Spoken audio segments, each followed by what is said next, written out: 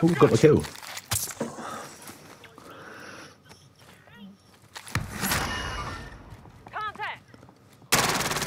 Oh, that's the worst shots I've ever seen. Nah, that's awful. That's that's shocking.